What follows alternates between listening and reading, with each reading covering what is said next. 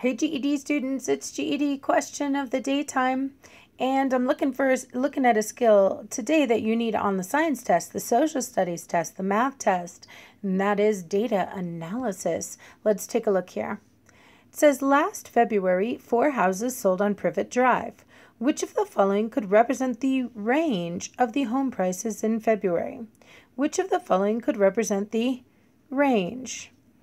So we're looking for the range and it looks like our data has been given to us on a graph, so that makes it a little more challenging than some other range problems we've seen so far. So let's remember what range means.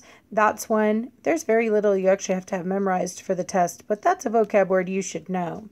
Okay, so range is basically um, how far apart the data is spread.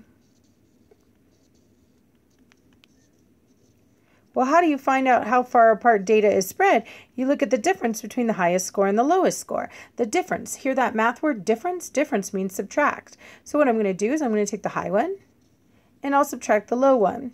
Now, the tricky thing about these problems is, especially in science or social studies, sometimes in range you actually do the subtraction, and sometimes you just uh, give your answer as the the full range. Like for example, I might say that my children range in ages uh, from 12 to 18, which would be a true statement. My kids do range from 12 to 18. Or I could actually do the subtraction.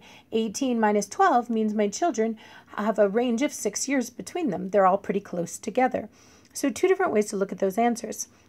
And indeed, we see two different types of answers down here. We see some of the answers are written in range form where they haven't done the subtraction, and some of them uh, we have just a single solitary number. So either one of those could be right. So it's important that we examine both ways of looking at range. So let's look at our data. Okay, now you can see that we have these four homes that sold, the dots on our chart.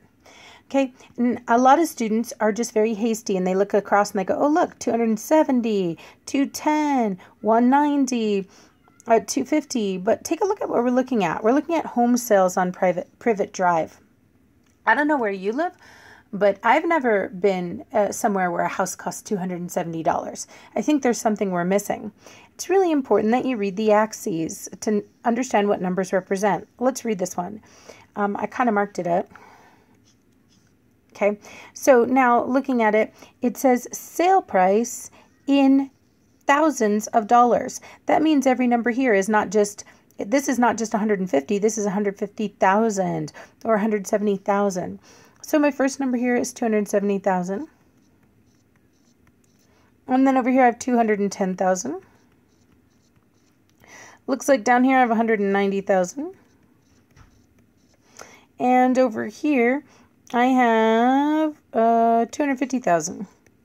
Now be really careful. I don't want the beginning price and the ending price. I want the highest and the lowest.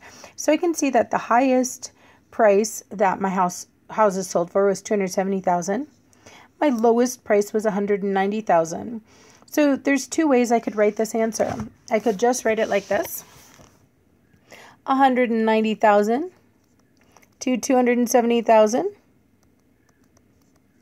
and again, I'm using the minus sign here just to mean the word to, not necessarily to mean subtract. Okay, now I don't see that answer here. They're trying to trick me here with just $190 to $270. This one doesn't have the proper numbers on it. So it must be that one of my answers is, my answer is actually being subtracted. Now if you're to subtract this, it would be important um, to realize that difference is always positive, and so I would want to put the higher number into my calculator first. And that kind of makes students mad that when I subtract, I write the higher number first. And when I write the range, I'll usually write the lower number first.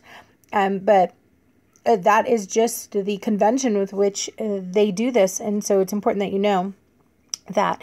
And so if I were to do that, I would get $80,000. So it looks like uh, there's a range of about $80,000 um, between the home prices here on uh, Privet Drive. Great. So this problem is done. C, $80,000 is the correct answer.